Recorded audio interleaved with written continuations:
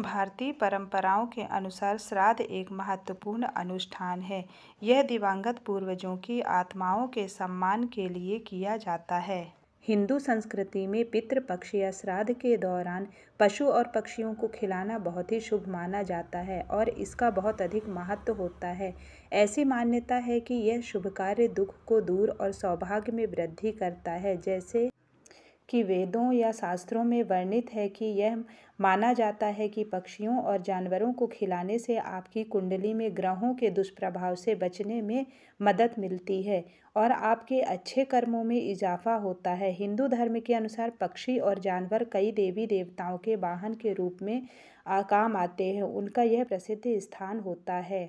पितृपक्ष के समय में कौवे की प्रतीक्षा उन सभी लोगों को होती है, जो अपने पितरों का श्राद्ध करते हैं। कौवा जब आ जाता है तो वह आपके पितरों से जुड़े संकेत देता है। यदि आपने अपने पितरों के लिए भोजन का अंश निकाला है और वे उसे खा लेते हैं तो समझ लीजिए कि वह भोजन आपके पितरों को प्राप्त हो गया है।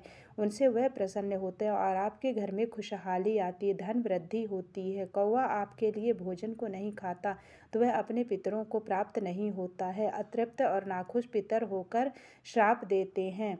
गाय, हिंदू धर्म में गाय एक पवित्र और पूजनीय जीव है। धार्मिक मान्यताओं के अनुसार गाय में देवों का वास होता है।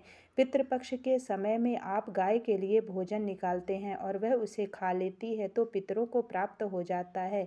यह संकेत उसको प्रसन्न होने का संकेत देते हैं। कुत्ता पितृपक्ष में पितरों तक भोजन पहुँचाने के लिए उनकी तिथि पर आ जाता है। इससे पितरों की आत्मा तृप्त होती है और वह अपने वंश को खुशहाली का आशीर्वाद भी देते हैं। चींटी पितृपक्ष में पितरों की तिथि पर भोजन बनाया जाता है फिर उस भोजन का एक अंश चींटियों को डाला जाता है। धार्मिक मान्यताओं के अनुसार चीटियों के माध्यम से वह भोजन पितर प्राप्त करके तृप्त होते हैं। यदि यह जीव आपके भोजन को ग्रहण नहीं करते तो आपके पितर असंतृप्त माने जाते हैं। तो आपको मेरे द्वारा दी गई जानकारी कैसी लगी ज़रूर